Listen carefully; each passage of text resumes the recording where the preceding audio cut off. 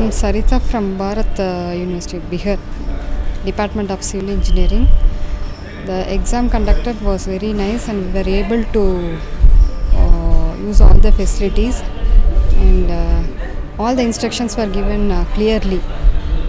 It was and uh, the um, exam center also it's very accessible and very easy to reach and the instructions were given clearly.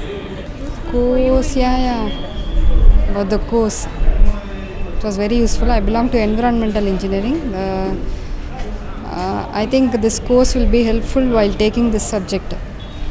So in depth, all the information regarding the data uh, about the e-waste generation very useful. Videos of the course?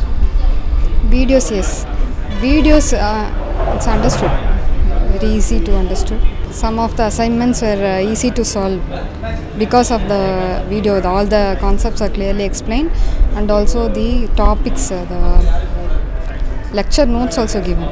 That was very useful to solve the assignment problems also.